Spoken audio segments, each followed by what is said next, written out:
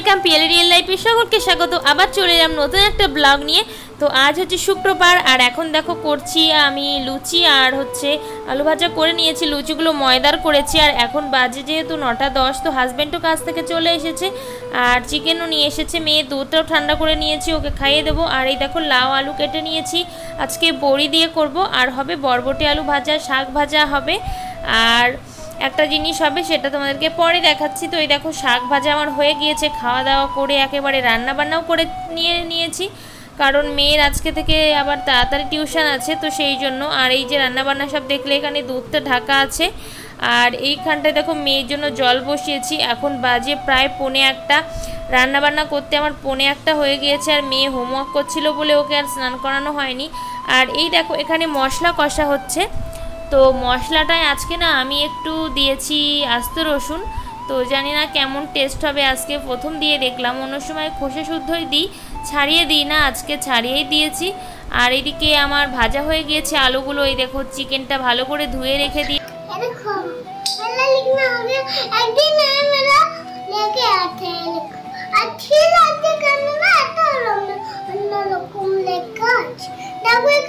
লেখা আছে বন্ধু আছে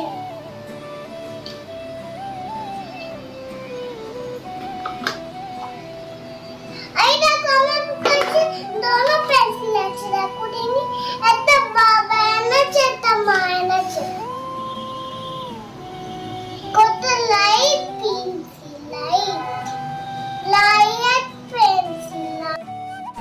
তো বন্ধুরা দেখো, মেয়ে তো হোমওয়ার্ক করানো হয়ে গিয়েছে। এখানে বেদানার জুস করে নিয়েছি, আর এদিকে হচ্ছে চিকেন কষা।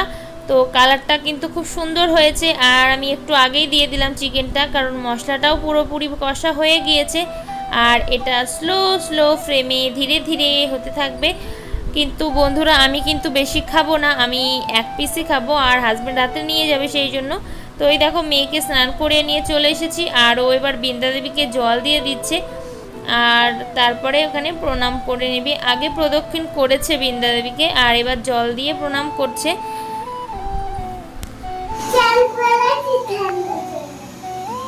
কেন করেছ একটু বলো?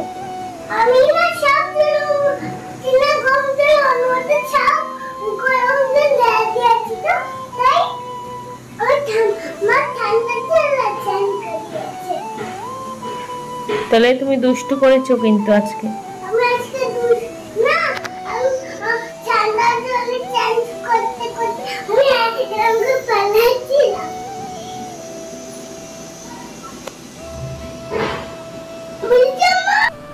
দেখো বন্ধুরা, গ্যাস তো আমার পুরোপুরি ক্লিন করা হয়ে গিয়েছে, আর ওইদিকে তরকারিও আমি উবুর দিয়ে রেখেছি মানে ঢেকে রেখেছি, আর এইখানটায় দেখো বাসনগুলো এবার মেজে নেব, খাওয়া দাওয়া করে এদিকে প্রেশার কুকারে ভাতও হয়ে গিয়েছে, এই দেখো।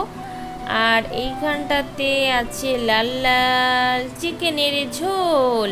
তো কেমন হয়েছে তোমরা কিন্তু জানিও কমেন্ট করে। ঠিক আছে বন্ধুরা?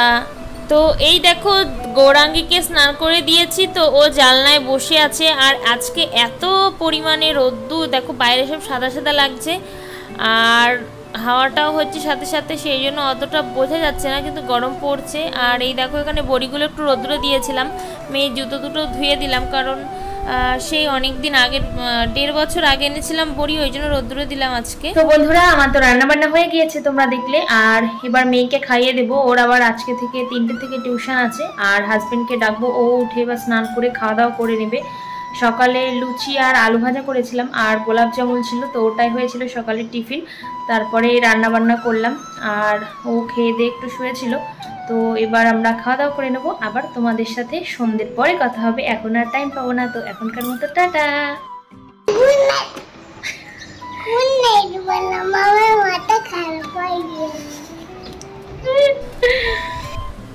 আর এইখানটায় দেখো রান্না বসিয়ে দিয়েছি, আর এদিকে দেখছি মেয়ে হোমওয়ার্ক করল। এটা টিচারের কাছে তো ঠিকঠাক করেছে, কি ভুল করেছে। তো সেইগুলোই আমি আর কি চেক করে নিচ্ছি, কারণ যেহেতু ছোট, ওই জন্য ভুল হতেই পারে মাঝে মধ্যে, তো সেই জন্য চেক করে নিলাম।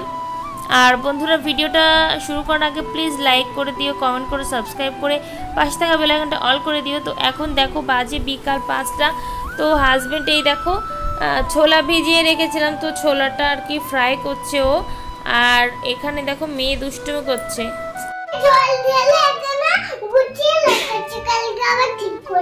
এখন ঠিক করো। বিছানার কি হাল করেছ তুমি? হ্যাঁ? কি ব্যাপার তোমার? ঠিক করো ওগুলো। বাবা আর আমি আর মা।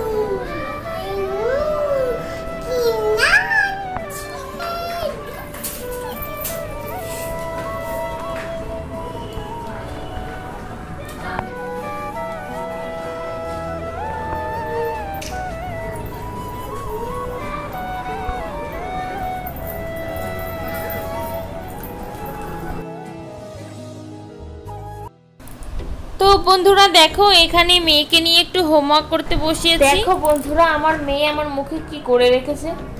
পাউডার কোথায় লাগিয়েছে চোখের মধ্যে? আবার লাগাচ্ছে, দেখো। এই, এখানে কেন পাউডার লাগাচ্ছিস তুই? এই দেখো, এটা মেয়ের পাউডারের ডাব্বা। আর এই যে ওখান থেকে নিয়ে নিয়ে আমাকে লাগিয়ে দিচ্ছে, দেখো।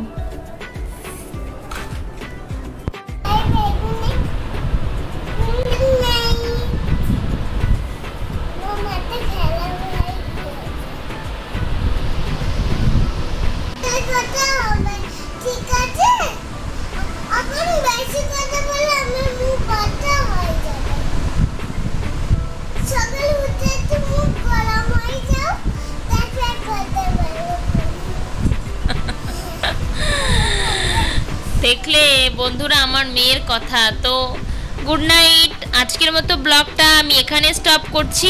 আর আমরা এবার শুয়ে পড়ব।